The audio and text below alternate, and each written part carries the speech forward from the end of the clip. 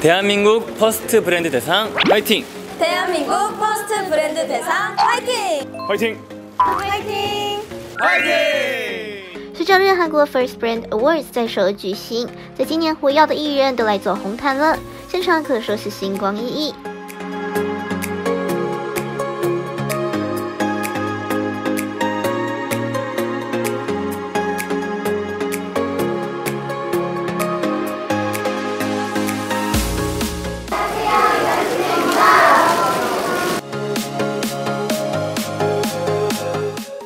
男性广告代言人和男爱豆项目获选的车银优帅气登场。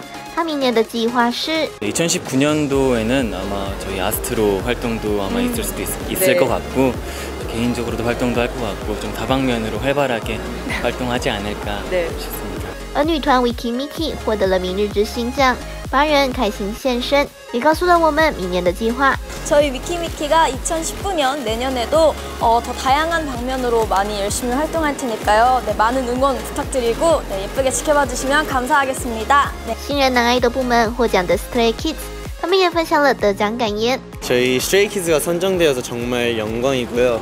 그리고 저희가 이제 앞으로도 계속 열심히 하고 음악으로도 계속 저희가 담고 싶은 메시지를 꼭 전달해 드리겠습니다. Loi King 在男性 solo 歌手部门获选，之前在美国忙于学业的他，也回到韩国参加活动呢。